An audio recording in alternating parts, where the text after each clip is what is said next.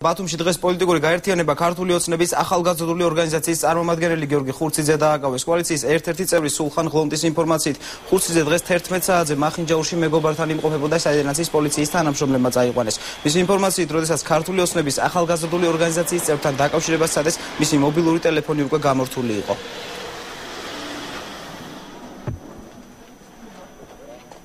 აი აგერ არის გამონტაჟებული აფიციის არის მოსასმენი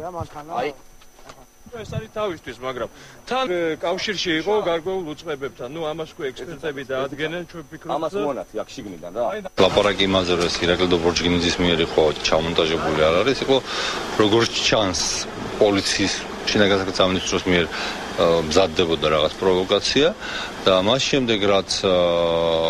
ეს ფაქტი იქნა გამოვლენილი, რატომღაც ირაკლი დობორჯგინიძე წამოიყვანეს აგაზდური ორგანიზაციის წევრი მოყვანილია შვახების პოლიციის სამართლოში ადვოკატმა მედიავასაძემ შეთავაზა მას ადვოკატო მომსახურება და ბორჯგინიძე პრაქტიკულად უარს ამბობს ამ მომსახურებაზე. ჩვენ გვიჩნდება სერიოზული ეჭვი რომ შესაძლებელია ეს კაცი ვერაცდაც ცნებას